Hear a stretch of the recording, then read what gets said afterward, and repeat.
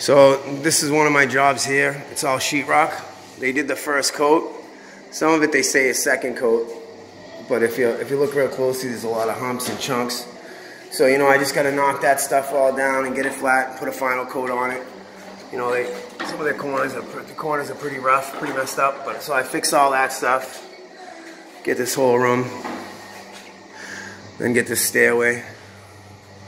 Which the stairway had no coats on it, so I get that stairway. Bring it down and plank it off. So, you know, they're, they're light first coat. I gotta scrape down the chunks, level it out, knock it down. I knock it down with water as opposed to sanding, because sanding's messy, but these didn't even have a first coat on it. So I use Durabond 90 just to speed up the process a little bit.